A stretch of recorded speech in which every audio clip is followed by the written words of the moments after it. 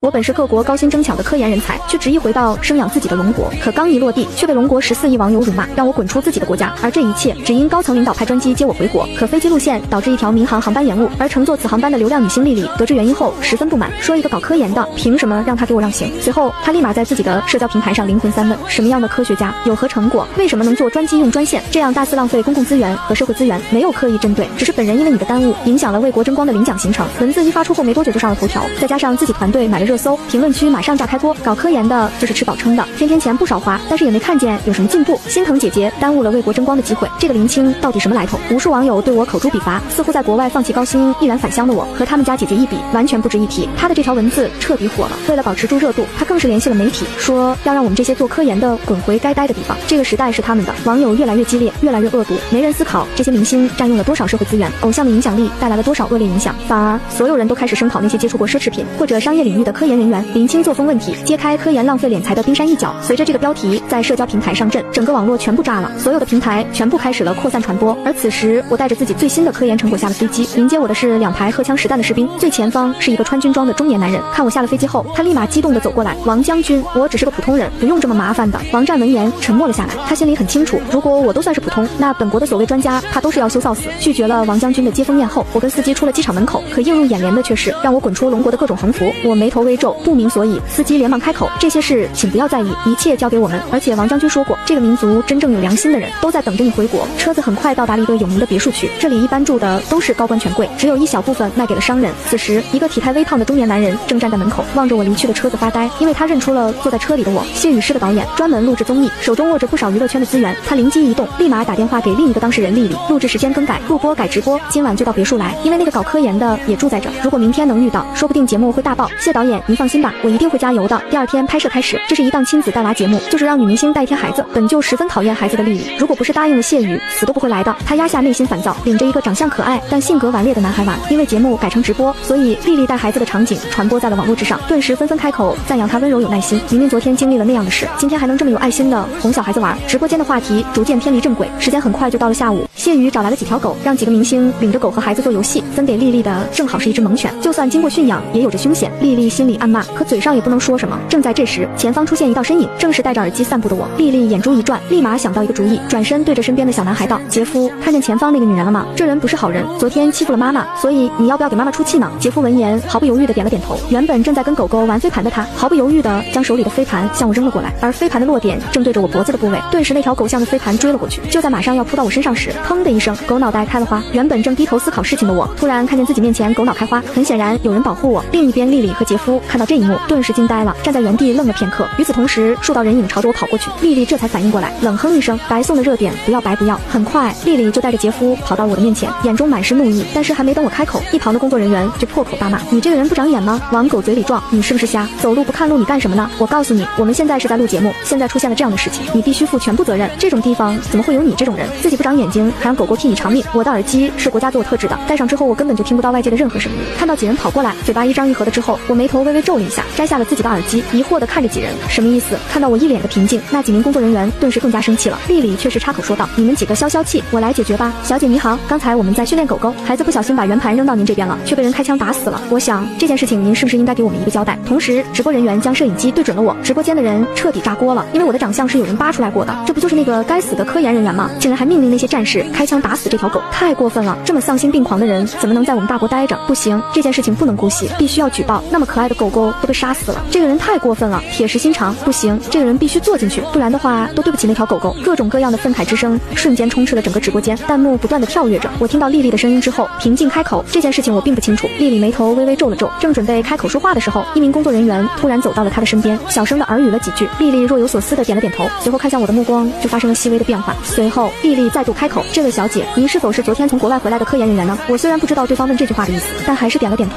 看到我承认，直播间瞬间安静了数秒，而后弹幕陡然爆发，甚至导致直播平台都有些死机，无数人涌入这个直播平台之中，而谢玉的亲子节目热度也迅速上升。谢玉。看着节目的热度，笑得合不拢嘴，眼睛戏谑的看向了我。刚才就是他让工作人员去和丽丽说话的，让丽丽证实一下对方身份。对方身份一证实，热度果然上去了。另一边，丽丽深深的吸了一口气。林小姐，我知道您的身份不一般，有人二十四小时护卫你，但是狗狗是无辜的，孩子或许只是想要和您开个玩笑，也只是无意之间将圆盘扔向了您。您生气我能理解，但是您直接让您的手下开枪打死狗狗，是不是有点不太合适？作为大国的科研人员，您难道连一点同情心都没有吗？我觉得你应该向狗狗道歉。我听到这话，眼神逐渐变得深邃了起来，脸上再次露出了那种平静的表情，什么话都没说，直接将耳机插入了自己的耳朵之中，转身就走了。柳如烟眼睛里满是错愕之色，这可是在直播，他就这样走了，直播间更是因为我的反应炸开了锅。这他妈就是国外归国的科研人员吗？简直丧尽天良，毫无人性。这么可爱一条狗，因为它死了，连个交代都不给，这样的科研人员，大国也要。各种各样的弹幕回荡在直播间，但是从来没有一个人想过，我的地位要比那条狗高得多得多。当然，我也 并不在意那些人的看法，因为会有人帮我解决一切的。一旁的导演谢玉看到这一幕，脸上露出了灿烂的笑容，还真是找死啊！这不是让我们的热度进一步提升吗？这么不长脑子的人，也能是大国的科研人员？直播间的暴动依旧在继续，子不教，父之过。这个王八蛋能成为这样的操行，他家里人肯定也没有一个好东西。给狗道歉，引咎辞职。大国不允许这样的人生活在我们的国家，滚回你的米国去！同时，一群自称爱狗协会的人涌入了直播间之中。这个王八蛋凭什么让人开枪打死狗？杂种，给死去的狗狗道歉，给狗狗举行葬礼，跪地上向狗狗道歉。谢玉坐在一旁的椅子上，看到直播间的消息之后，整个人都笑开了花。这一次的节目算是大爆了。与此同时，还有一些人直接去扒了我的家世，说我是土匪的后代，还是个虐待狂，经常打骂家里的保姆。随之还有一段中年妇女的哭诉视频。另一边，燕京西郊一个从来都不为人知的私人墓地，前面站着一个身形挺拔的老者。许叔，辛苦您了。我冲着老者鞠了一躬。这名老者名为许山泉，是我把爸爸林广生前的通讯兵。爸爸故去，许山泉也从部队之中离开了，为林广守墓。到现在已然过去了十年。听到我的声音之后，许山泉眼睛微微动了动，转过头看向了我。小青看到我的那一刻，许山泉的眼睛瞬间就湿润了。赶快起来，小青，冲我鞠什么躬啊？许叔，这是我应该做的。若非是您这十年来一直守在这里，我爸的墓地怕是已经杂草丛生了。你这孩子瞎说什么呢？你爸为这个国家操劳了一辈子，故去之后不能没人看着呀。将军坟前无人问，这种事情是绝对不能发生在你父亲身上的。小青，这次回国还走吗？不走了。许叔，国外已经教不了我什么东西了。许山泉听到这话，笑着说道：“好啊，好啊。”就转身离开了。我冲着自己父亲的墓碑磕了一个头，头颅碰撞在地面上，散发出了沉闷的声响。抬起头，我的额头上已经沾满了泥土，头发也凌乱了许多。不过我并没有在意那么多，而是看向那块墓碑。墓碑上书：“大国五星上将林广之墓。”墓碑的左面是父亲的遗愿：愿大国世代不被人欺辱侵犯，愿百姓永远安居乐业，愿大国再无战争。我再次冲着父亲的墓碑磕了两个头，一下比一下用力。最后一个头磕完，额头甚至隐隐有了血迹。爸，我回来了，知道你老人家担心我，放心吧，我在国外可没有丝毫懈怠。我将一沓文件拿出来，射电望远镜、长城十一航空火箭、歼四零第六代隐形制空战斗机、北斗军用雷达、龙吟号航母，各种各样的数据文件全都呈现在这里。爸，我如今掌握着大国国最后一口龙气，只要我把这些东西上交，我们大国就是世界航空航天领域的绝对先驱。我话音落下，一阵风吹过，一根枯枝随之落地，发出沉闷的响声。我笑了笑，又继续说道：“您老人家别生气呀，我不是不交给国家，只是想让你看一眼，让你知道我从来都没有懈怠。”我的脸上再度有泪水流下，声音越发的沙哑起来。爸，我知道你最难过的就是大国没有自己的武器。您老过去的时候也没能追上西方国家，我在国外的时候还研究出来了不少武器，也有军事设想。你看，全都在这了。爸，我跟你说，只要这些东西上交，我们大国百年之内绝对不会出现战乱。像您这样的老将军，就不用再一生戎马驻守边疆了。我一边流泪，一边述说自己这些的心路历程。两个小时之后，我站起了身。爸，我走了，我手中的东西会全数上交给国家，大国必将屹立在世界之巅。话音落下，我转身离开。从今天起，大国的各个大方向都将会出现请我的身影。就在我祭奠亲人的时候，我并不知道现在的自己，因为今天的事情已经成为炙手可热的网红一族。相对于此，腾龙别墅区之内却是另一番景象。谢玉那条让我必须给狗道歉微博一传到网上，就直接引起了热议，谣言飞起，各种谩骂的语言也是随之而来。可以说，现在的网上已经是将我描述成一位十恶不赦、罪无可恕的恶魔了。至于有几个还算理智的人出言反对，也是瞬间被淹没在众人的口水之中，被骂了个狗血淋头。看到这一片倒的景象，谢玉可谓是心中暗喜不已。毕竟如此巨大的流量，毫无疑问会让自己的身价更上一层楼。这样千载难逢的机会，他如何能够错过？几乎是没有任犹豫，谢玉就直接暂停了亲子节目的直播，立即附身在柳如烟耳边，悄悄地说着什么：“干爹，还是你厉害，竟然能够想到如此办法，你真的坏死了。不过我好喜欢啊。”柳如烟听完之后媚笑道，看向谢玉的眼神中充满了佩服。他现在已经是为我捏一把汗了，毕竟谢玉的安排实在是太过歹毒了，恐怕那个家伙最后死都不知道怎么死的。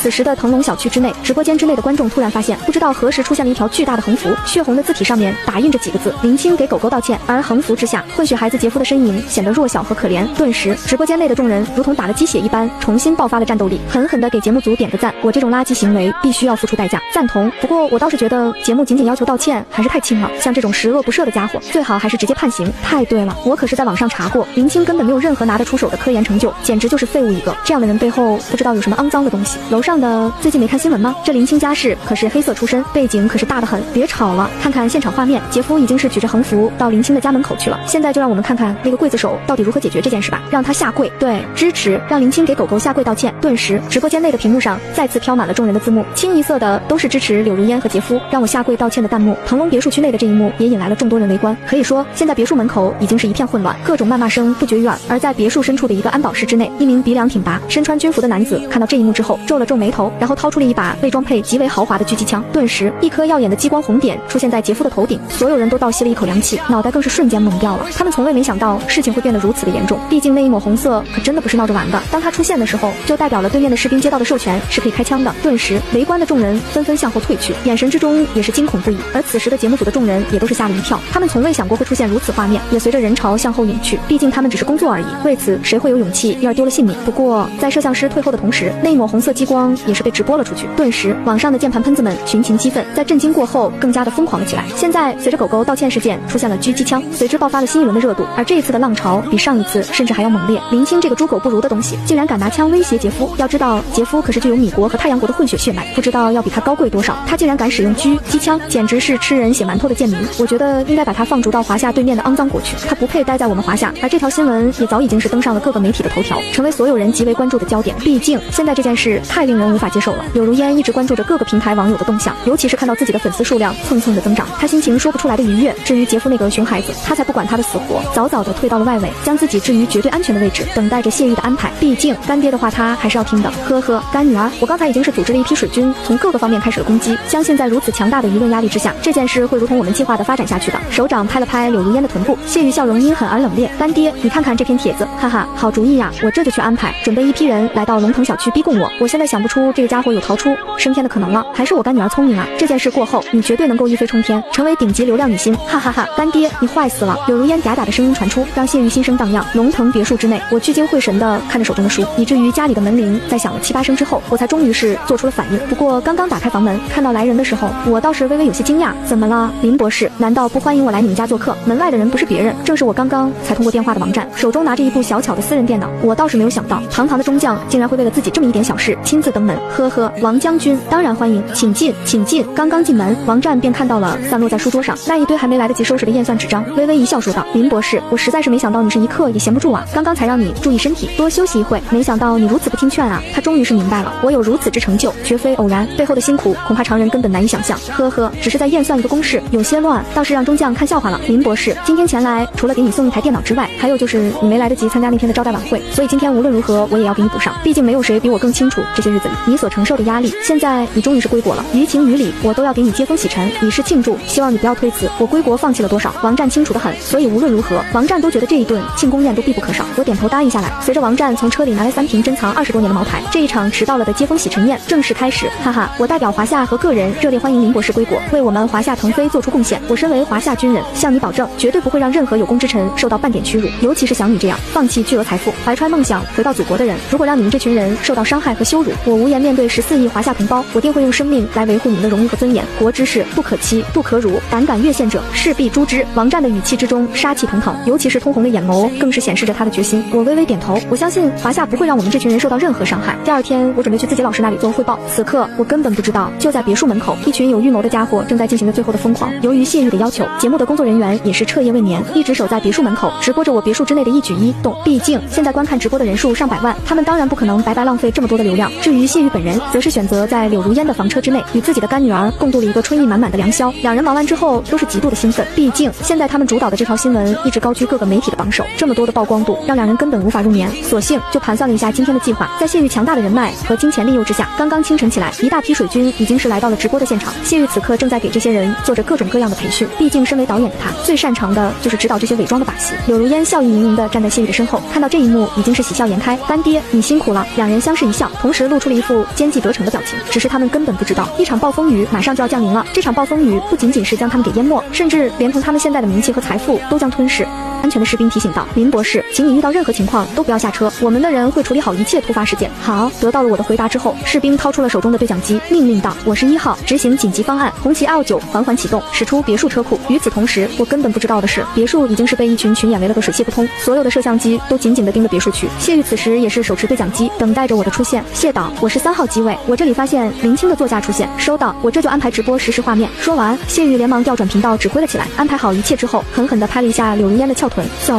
干女儿，干爹带你去看一场好戏。与此同时，一辆红旗 L 九缓缓地开出别墅区的大门口。林青，你给我去死！林青出面给狗狗道歉。林青赶紧出面给全国人民下跪。声音震耳欲聋，所有人如同疯子一般向着车辆奔去。人群之中，一个老头看到这一幕，眼眸之中露出了一抹疯狂的神色。人为未踩死，鸟为食亡，拼一把！说完这句话之后，老头似乎是下定了决心一般，在众人惊诧的眼神之中，突然冲了出来，然后径直的跑向对面相向而来红旗 L 九，随即一跳，直接碰碎了车辆的倒车镜，而他本人也顺势倒了下去。停车，赶紧停车！有人受伤了！林青，你是不是人？没看到你撞到人了吗？在谢玉的指挥下，一些群演大声的叫骂着，让我出面。直播间内，众人看到了现场发生的那一幕，已经是炸开了锅，疯狂的在弹幕上辱骂着我。现场之内的一些群演在导演的安排之下，已经是准备强行打开车门，将我给拽下来了。没想到的是，就在这紧张的时刻，这辆红旗 L 九的车门竟然主动被打开了。下一秒，车内之人出现在众人面前的时候，却是让人大失所望，因为出现的并不是我，而仅仅是一名穿着军装的士兵。但是由于角度问题，老头却是根本没看到，所以当士兵出现的瞬间，老头直接将鸡血袋拍在脑袋上，然后向前一跃，直接抱住了对方的大腿，用极为可怜的声音大喊道：“你个挨千刀的，你看你个狗日的，把我撞成什么样了？我老头子命苦啊，从小孤苦伶仃，一把屎一把尿的把自己养活大，没想到啊，老了老了，竟然如此受人欺负，我不活了！”摄像机之下，老头几乎是声泪俱下，博取了大部分人的同情。士兵无奈的说道：“老人家，你有什么状况？我们可以去医院检查。”此时很多人看到这一幕，都已经是怒火中烧。毕竟一位孤苦伶仃的老人，满头鲜血直流的抱着一名身强体壮的士兵，孰强孰弱，一眼就看得出来。更加重要的的是，此时的他们都已经是将这名士兵当做了我的帮凶。现场的气氛突然之间紧张无比，所有人都将矛头指向了执行命令的士兵。一些群演也是纷纷跑到了士兵的面前，所有人如同洪水一般冲向那名士兵，开始了拳打脚踢。这一幕被直播到了网上之后，非但没有任何人阻止，反而都是一片喝彩之声，所有人都欢呼雀跃。他们早已经是忘记了士兵代表的是什么，也早已经是忘记了他们初衷是什么。只有那名士兵承受着所有人的暴力，身形却是一直坚挺着，死死地挡住众人暴力破门的行为。此刻，华夏科技中心中科院一群默默无闻的老教授和科研人员正在紧张而忙碌地调试着一项又一项复杂庞大的数据。二十多年废寝忘食的研究，数百次不断的实验和完善，无数人呕心沥血的结晶。如果不出意外的话，今天就可以正式上线。可以说，他们研究的这一套卫星监控，一旦成功，那么就可以赶超任何一个国家，包括一直以来都对华夏技术限控的米国。南老的助理看了看手中的报上来的实验数据，兴奋地说道：“嗯，好，终于等到了这一天了。所有人可以休息一下，等待林博士的数据送来之后，立即开启天眼。”南老压抑着自己的声音，但是却压抑不住内心之中的喜悦。所有人都知道，他们的准备的工作已经是万无一失，就等待着最后的冲刺了。小文，你最近听说了吗？林博士好像是遭到了一些网友的攻击。我最近忙的哪里有心思上网啊？小文，你也替孤陋寡闻了吧？我可是听说，最近可是不少人正在骂林博士，说什么还要林博士给一条狗下跪道歉。真的不知道那群人是怎么想的。要知道，林博士可是我的偶像，单单凭凭借他在国际上斩获的那些大奖，哪一项不是举世闻名的科研丰碑？竟然还有人敢抹黑？要我说，这些人就是欠收拾，不知所谓。此时，实验室内的众人的讨论已经是引起了南老的注意。当听到众人描述的情况之时，南老心中气愤不已。不过他毕竟是稳重之人，倒是也没有将自己的情绪表现出来。好了，不用担心，只要是天眼顺利启动，肯定会得到极大的关注和曝光。那时候林博士的身份和功绩自然会被所有人知晓。到那个时候，我看谁还敢质疑他。毕竟天眼项目算是国之重器，趁着还有几分钟的时间，我们再次检查一遍设备，以确保林博士的实验数据送达之后啊，南老出事了。就在南老想要再次指挥众人检查一遍设备的时候，突然之间，实验室的一名科研人员大声喊出了这么一句：“白助理，出了什么事情？”南老是林博士，林博士恐怕今天无法将实验数据送到这里来了。听到实验没问题，众人紧张消失不见，不过取而代之的一头雾水。毕竟这个家伙怎么会知道林博士无法将实验数据送达的？要知道，南老可是亲自打电话确认过，林博士会准时到达。作为科研人员，守时守信可是基本素养，怎么可能会犯下如此错误？简直是天大的笑话！南老也是有些莫名其妙，随即问道：“白助理，到底怎么回事？”哎，算了，大家还是自己来看看吧。白助理本想解释一番，但是刚刚看到的。那一幕却是让他愤怒不已，甚至连说话都激动了起来。在电脑上敲击了几下之后，白助理直接将自己的。手机播放的。直播画面传到了公屏之上，于是，一副混乱的。现场画面出现在众人的。视线之中。画面中，许多人如同疯子一般厮打着一名士兵，对其拳打脚踢。而在士兵身后，一辆红旗 L 九的。车辆也是遭到了众人的。围攻。许多人已经是爬上车顶，不断的。砸着车窗玻璃，更有甚至直接拿着石块砸向车辆，似乎是想要将里面的。人给扒下来。而其他一部分没动手的。围观之人也是不断的。怒骂着：“林狗，出面下跪道歉，赶紧出来，否则的话，老子烧了这辆汽车！”什么林博士，简直就是狗屁！赶紧出来，胆小鬼！今天是杀林狗，为死去的狗狗报仇！所有人都在咒骂着我。天眼实验室之内，所有人都目瞪口呆，他们现在终于是意识到了事情的严重性，也终于是明白了为什么白助理能够一口笃定林博士无法到达的原因。他们更加无法理解，这些人怎么会如此疯狂的围攻一名享誉国际的科学家？快快快，给我电话，给我紧急联系中南总署！突然，南老一声怒吼将众人惊醒，他们回头看向南老，发现其脸庞之上怒气横生。这位向温文尔雅的老人怒了。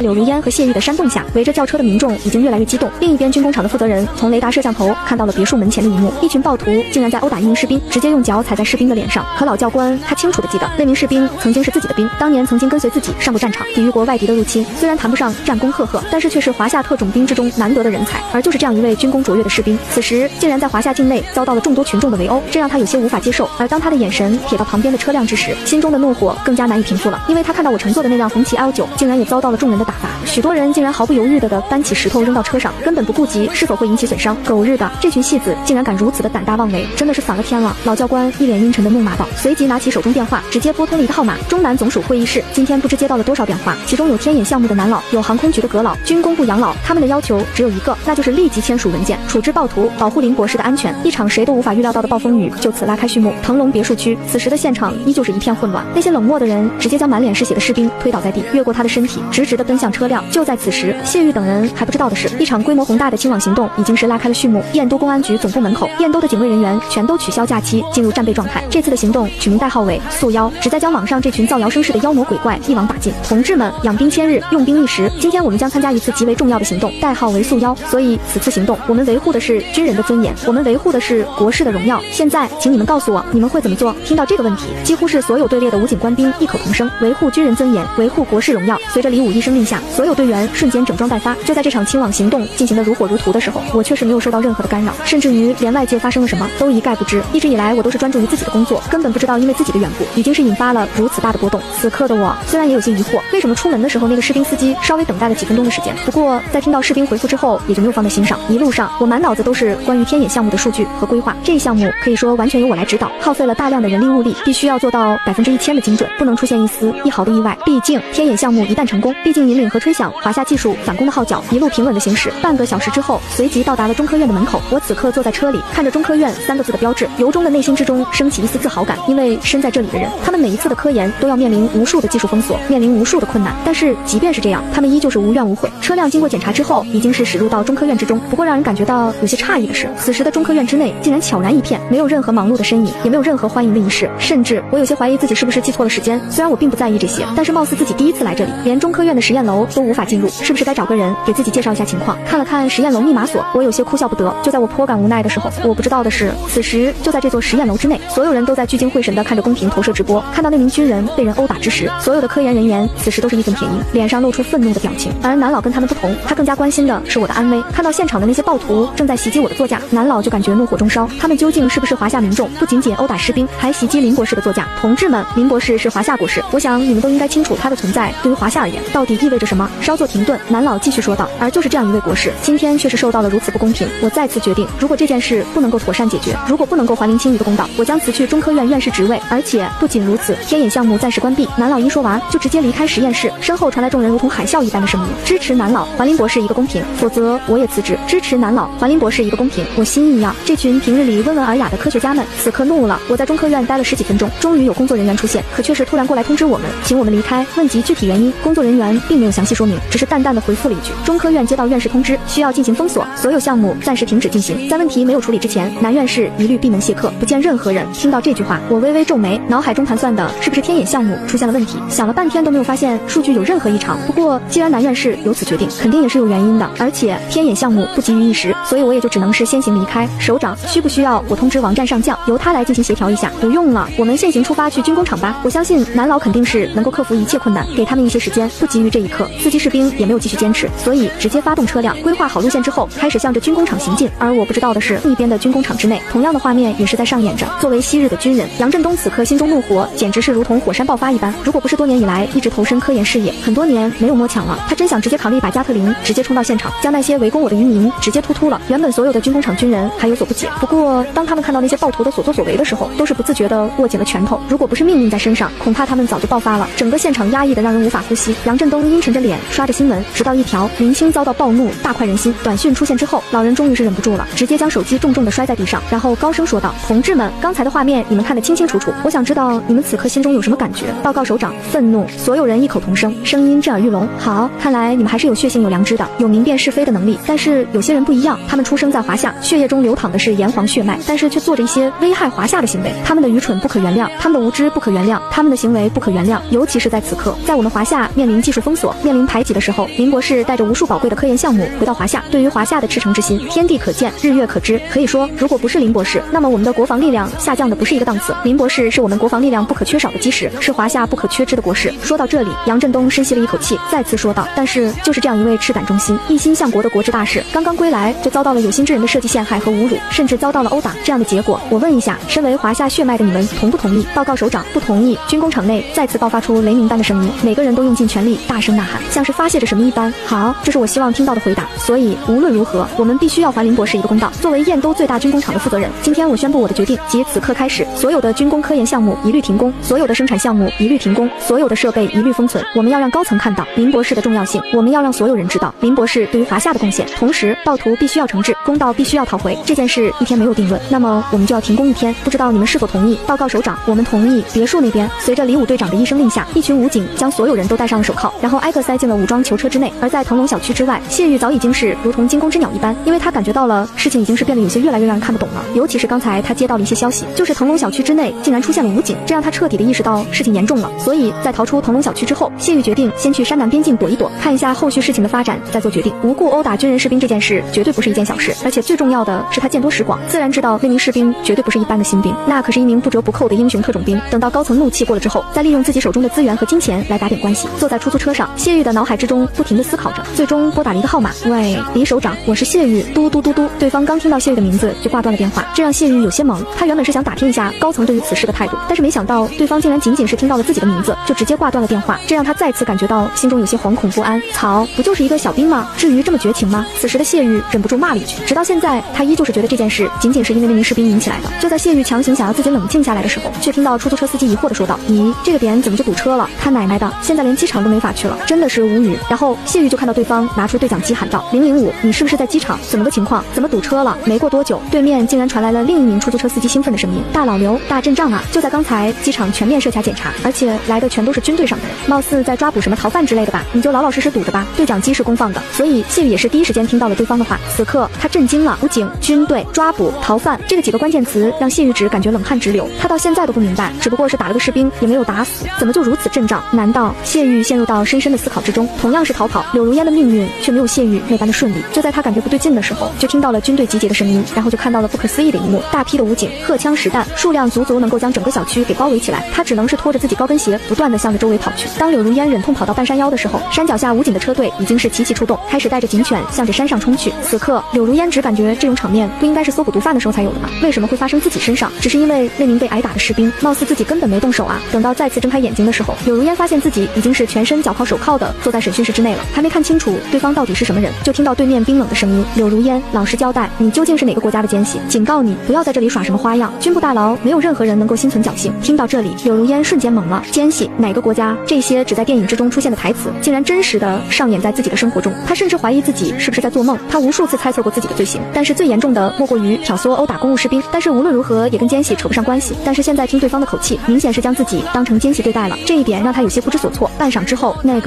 两位，我究竟犯了什么错？我怎么可能是奸细？你们可要调查清楚。我可是地地道道的华夏人，从来没有改过任何国家的国籍，甚至每次出国用的都是华夏护照。你们是不是搞错了？只听对面冷笑道：“你说不是就不是吗？如果不是的话，为何要设计陷害、侮辱华夏国士？国士？什么国士？哪个国士？我是娱乐圈的明星，根本不认识什么国士，怎么可能陷害、侮辱国士？你是不是在污蔑我？我绝对不会承认的。”此时的柳如烟知道这件事太过严重，她就算是死也不能松口或者承认。最主要的是，她印象中自己确实没有做过这种事情，她是有底气的。但是下一秒，当那名男军官说出一个名字的时候，柳如烟震惊了。我们从来不会污蔑任何人，林青就是华夏国士。而据我们了解，从机场开始，一直到腾龙小区，你都在设计陷害林博士，而且不仅如此，你还在网上散布谣言，重伤林博士。我想问一下，这一步步难道不是你精心策划的吗？现在还在这里装疯卖傻，真不知道你有什么资格说你是华夏人？如果说你真的是华夏之人，没有受到任何国家或者势力控制和挑动，你觉得我们会相信吗？坦白从宽，抗拒从严。我看你还是老老实实的全部交代出来吧。后面的话，柳如烟已经是根本听不清楚了。直到现在，他脑海中盘旋的都是那句话：林青是华夏国士，怎么可能？不可能的！你在开玩笑是不是？你们是不是在演戏？林青怎么可能是国士？他有什么资格成为华夏国士？我可是在网上搜过他的资料，就连博士头衔都没有搜到过。所以说，绝对不可能是国士。柳如烟此时已经是有些崩溃了，她一边哭着一边笑，似乎是进入到了一种歇斯底里的状态。男人冷笑了一声说道：“既然如此，玫瑰让他看看高层下发的文件。”然后对着一旁的女同事递了个眼神，随即那名女兵站起身来，眼神扫视了柳如烟一眼，没有任何的同情。几张纸随即被放到了柳如烟的面前，通红的几个大字赫然醒目：关于严厉惩治污蔑华夏国士林青决定。这张纸的最后盖着一个红艳的章，上面是中南总署的印章，那可是国家最高权力的象征。只看到了这几项，柳如烟就感觉彻底崩溃了。他知道对方不会伪造文件，是真的，但是他显然无法相信这一点。他竟然遇到了一名国士，而且直通总署的那种，不知道自己该说运气好还是运气差。沉默了半分钟之后，柳如烟突然抬起头来，然后异常冷静地说道：“我不相信你们说林青是国士，那我倒是想问问，到底是谁给了他这个称号？他有什么资格成为国士？他有什么利于华夏的研究成果？我怀疑这里面有问题。”此时的 柳如烟只能是抱着心中最后一丝希望反抗道：“好，看来你是非要撞死南墙，那就让他死心吧，让他知道林博士的研究成果有哪些。”随着审讯军人一声令下，随即柳如烟的桌子上又多出了几张纸，上面是我的介绍：哈佛一号实验室掌控者，航母、隐形战机、天眼项目、核能利用。当这些实验成果一项项出现在柳如烟面前的时候，柳如烟原本眼眸中的一丝希望彻底的。